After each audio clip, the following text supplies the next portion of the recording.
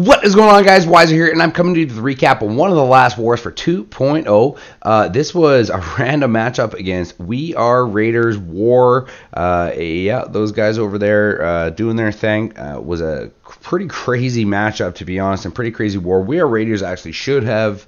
Um, probably come away with the victory here. They were uh, doing, I believe, a bully attack at the end of the war, very last attack, um, and they disconnected. So unfortunate for them, but uh, 84-83 victory for 2.0 as it stands and uh, overall really impressed you know uh, I think uh, we Raiders had at least one extra Town Hall 11 and maybe an extra a uh, couple extra 10.5s um, sort of 10.5s but uh, so, so regardless having that kind of advantage in the Town Hall 11 is just superior to anything.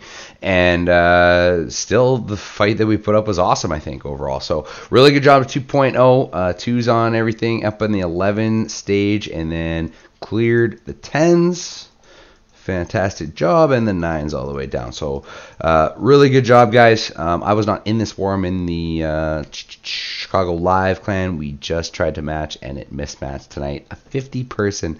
I don't understand this. I can't wait to discuss this at the actual event, but the fact that we mismatched it just shows we do need the ability to arrange wars at least somehow i don't i don't know there, has got to be a way you can implement it without any sort of abusing or I don't even know how you would, but I know some people have their reasoning that why you shouldn't arrange wars, but unfortunately it's just it, it just would add such a, a, a factor to the game. I just I, I don't know. I don't know how you can argue it, but it is what it is. Everyone has their own opinions.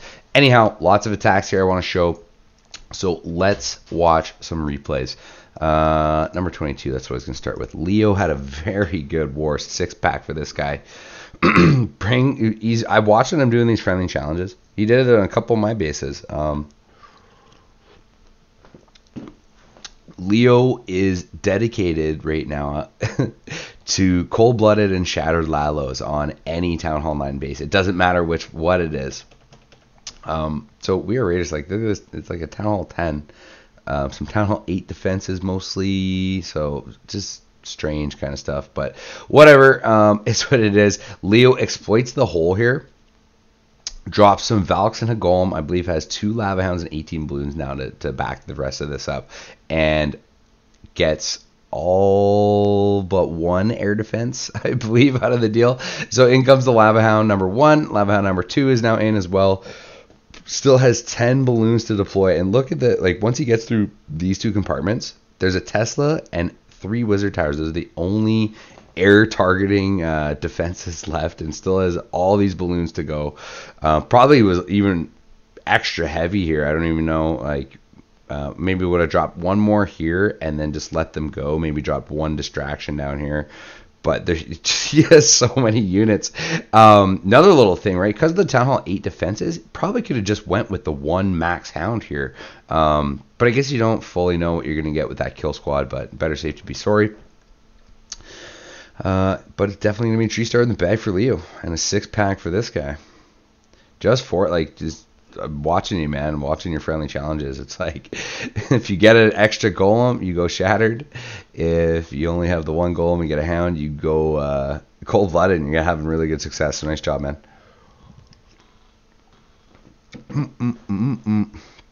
Next on the block, number 19. Good old Grady going in here. Uh, open alleyway concept base. You know how I overall feel about these style of bases.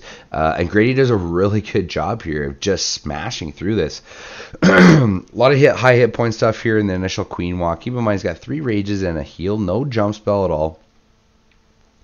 Uh, the idea here now is to get a really good value out of this queen charge and get her down in near this queen chamber, take out the defensive queen, take out an expo, all these points, this whole basically shebang on this side, and gets it with very minimal uh, investment rate. The four healers creates that funnel using two wizards. I mean, uh, takes takes a Tesla out in the process. Down goes the Expo. Sends in a few hogs too, while the Queen's tanking that Tesla to take down the Arch Tower and Tesla itself.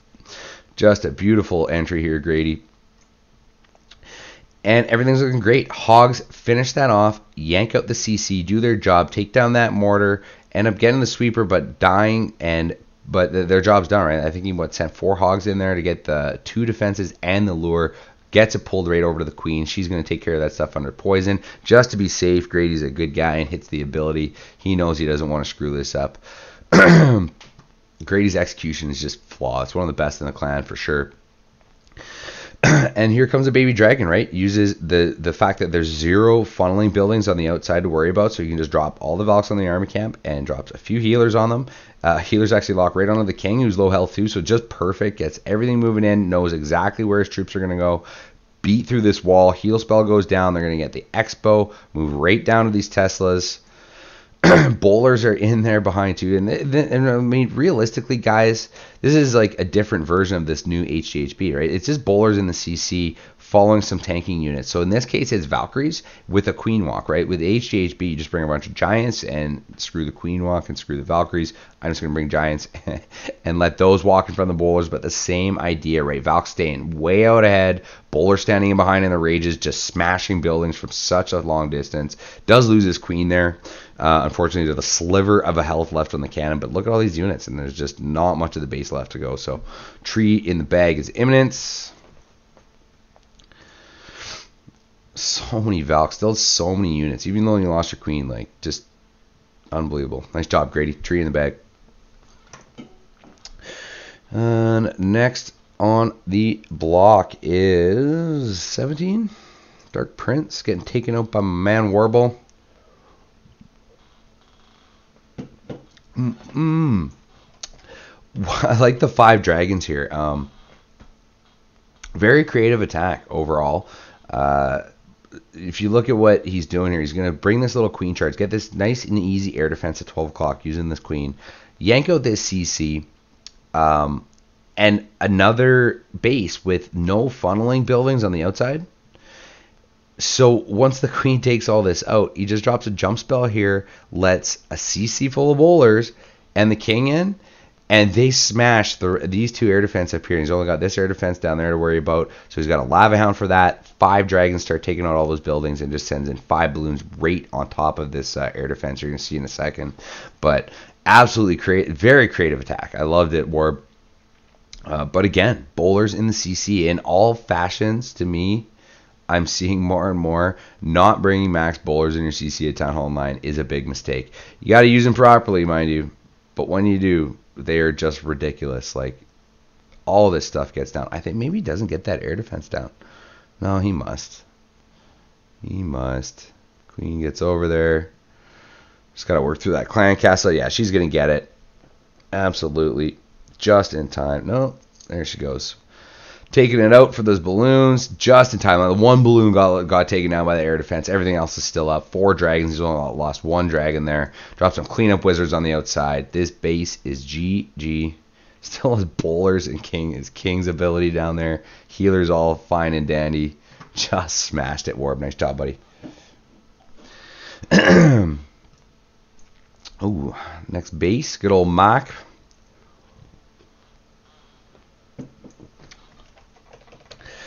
Bringing an absolutely beautiful attack here. Queen's going to go ahead and go down. Get good value. Charges her into this compartment, right? There's look at this line of high hit point structures. I thought that was kind of interesting. I would never do that. To me, that's like a waste. And I, Cad and I talk about all the time. Spreading out your high hit point structures, especially with Valkyries nowadays, if you, you want to try and have them get them stuck up on a small building and a high hit point building because or if, if any at all, right? Um, you know, they're going to get a two for one value on those high hit point buildings. That's not good. Also, Pekka and the CC, I thought that was kind of interesting. Sure, um, it, it can be deadly uh, to a queen walk if uh, you're not ready for it, but if you are, it's fairly easy to take care of. So down it goes. and the queen's job is done, right? She's just going to stand there, take care of all these high hit point structures just one at a time ends up dropping another rage spell, get her healed back up. really the X-Bows are only threat. Just got to work through that stuff, and then she's going to start working on all those defenses. Uh, funnel's been created down the queen chamber. Valks go in, smash through the wall, poison down on the queen. Does lose his king fairly quickly there, so that was a little bit of a concern because um, really there's not a lot of this base, but the, these 10 Valks are just getting crazy, crazy value. And then in Mach 6 fashion, drops the miners on the outside here. Just going to start zigzagging up through this section of the base uh, the whole goal with that is just keep the Valks moving towards the defenses. Um, you don't want the Valk strength trying to get in these compartments. I mean, the miners were a little behind there, so yeah, you see some Valks beating on the walls there, but um, everything else kind of went up into this last chamber. It's perfect. You almost didn't even need the miners. I don't know how much time was left, but just beautiful attack. Nice job, Mach. The Mach 6.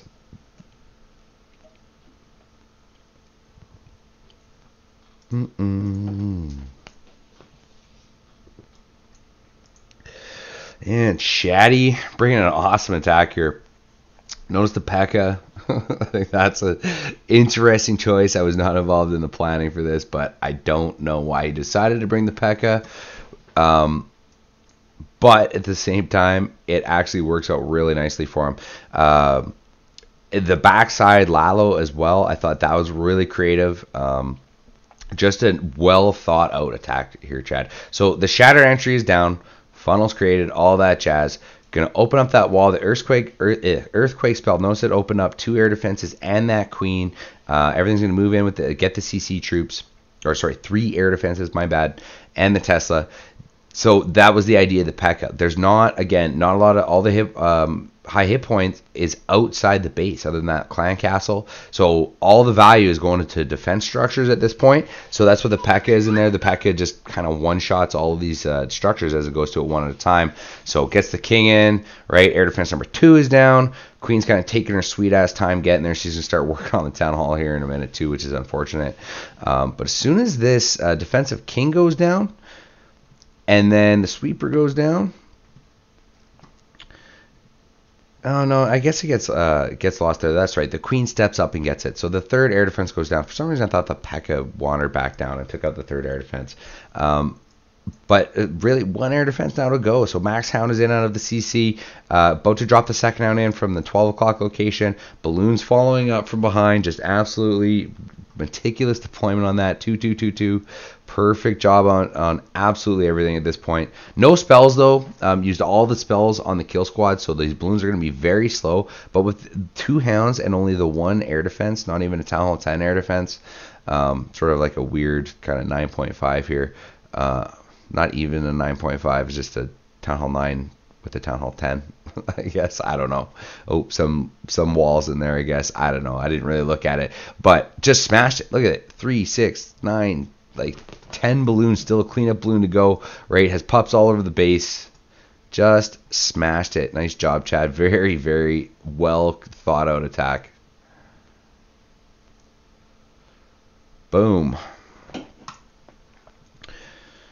Uh, man, I'm getting so pumped for Chicago Live. I'm watching the some of the guys got there tonight, so I'm uh, um, was seeing some of the pictures going around, them all having beers together and stuff. I'm uh, definitely, definitely getting pumped here. So, uh, HDHB, here it is. Caddick, the man himself, uh, bringing it right to this 9.5. uh, funnel gets created again. Part of the issue with some of these bases from We Are Raiders is the lack of the funneling buildings on the outside. Um, not really not really a lot of effort to get things funneled right into the base here. So uh, takes advantage of that, right? The bowlers are in, the Giants are in right in front, trigger the bombs ahead of time. Just perfect job. Healers keeping everything going. They're just beating through walls under these rage spells. Couple, it's kind of weird. Like these one and one bowlers um, loses this one right, almost gets the hog there in time, but doesn't. Uh, but they're just continuing to starting to do the cleanup process, right? That's why he drops the wizard here. It would have been nice if the bowler stayed alive. Could have used a wizard elsewhere, but uh, the uh, you know even drops one up there, right? It helps helps the cleanup process. That's what all you got to think about at this point because the Giants are staying alive, especially if your healers don't die. They are dead now, but he's through the whole core right? They're already working on the backside. All these troops even drops a heal spell to get those giants right back up to health. Bowlers kind of moving in, doing cleanup all around the base, sprinkling hogs two two two two where he feels he needs it. Right, uh, King has two healers on him still. Uh, Queen ability untouched at this point, and all defenses are now down. Freaking beautiful raid there, Caddick. This HDHB man is just face roll. Tree in the bag. Right, so I got a couple 10 v 10s to show you here. Actually, um, where is he? Paulie had a six pack. There they are. so both of these attacks by Paulie, the, the, six pack you're going to see, um, are dragon attacks, right? 10 max dragons he's bringing here, double or two zaps and two quakes. Now, the idea with that is taking out the one inferno tower and then the other inferno tower. Boom. One zap, one quake. Just beautiful job on that. Oh, my bad. Sorry. Two zaps and one quake. Not one zap and one quake. Um, anyhow, now that I'm back to reality, sorry, I totally got distracted there for a moment. Um, he's just going to suicide the heroes in, right? Uh, queen kind of starts taking some damage, but allows the king to get in there too and hits the queen ability, takes out the air defense, and that actually reminds me of uh, the old K and X attack, but it would have been just pure Lalo on the back end, not all these dragons. Um, you know, the Zapquake, there's no Inferno Towers to worry about. The one air defense is kind of in the centralized position. Uh, spread the dragons out, right? So they're just going to basically like Asian wall dragon style across the base here. Lock onto that queen, lock onto that air defense. Beautiful job. Nothing really to threaten these dragons now at any point. Just a nice slow attack. Still six cleanup minis he's got to deploy. Cleanup gob. just going to work through this base. Uh, ground at Expos too. Just RIP. You know, there's just nothing at this point. There's one Archer Tower and a Tesla, two Archer Towers, sorry, and a Tesla. The only thing that can touch these dragons, really, unless he had some seriously unfortunate traps at this point, it's definitely gonna be tree in the bag. Look at those Valks just jerking it over there. Unfortunately, they go give that goblin what it, what it's worth. I don't think I've ever built a goblin in the game. I don't know why. I don't use goblins. I never have. I don't think I ever will. Miner level five. that's sexy tree in the bag for Paulie. Nice job, man. And let's check it out. Very, very similar style here. You know, like this level three Inferno and this level one Inferno. Just very strange base builds. Town Hall 11. Not exactly sure what the idea is behind um, behind it, but it's a very very wonky basis for We Are Raiders. Just uh, just the setups and the the town hall progression. Anyhow, so I, I mean, like, this guy's got a warden, right? But like I said, level one infernos. These, yeah, I don't know, just very strange. Uh, anyhow, suiciding heroes again at this air defense, right? Um, Zaps went down, and we're gonna pull up the CC right now. Uh, Dragon Loons come out, poison spell goes down, gets the skellies, right? Just gonna start working through that stuff. It has to get to that air defense to make this successful, and is definitely going to, right? Queen's gonna mop up the rest of that dragon, kill the balloons, and the air defense is already down. So their job is done, right? But for the difference here, right? He's he zapped the uh, other air defenses this time, not the infernos. But look at the way the base is set up. It's almost like a perfect alleyway straight across. Um, he was hoping all his dragons would literally go like straight across this base. Um, he does lose a good chunk of them off to the side here, but it doesn't matter. Uh, there's a level one Inferno on the back end. Starts dropping cleanup minis already, right? Like nothing could touch them. And these max drags, like there's not much hit points. Once the clan castle goes down here, there's barely any hit points protecting this Inferno tower. So they're just gonna mop these uh, buildings up, finish the core off down it goes. Down goes the Inferno Tower. See you later. Boom. Definitely a tree star in the bag for Paulie J and a beautiful six pack, buddy. Boom. All right, so it's super late. I'm gonna call it a night, but uh, thanks for the war. We are Raiders. Uh, hopefully, uh, you don't have the disconnects next time. That's unfortunate sure that must have hurt, but uh, is what it is, and victory for 2.0. So good job, guys. Like I said, especially with them having the advantage, uh, really just just perfect war, right? Like all all across the board. Can't say anything else. But uh, I will call it a night here. I am very tired. That'll do it for your wisdom from Wiser. Just trying to help beg that next tree start. Till then, I'm out.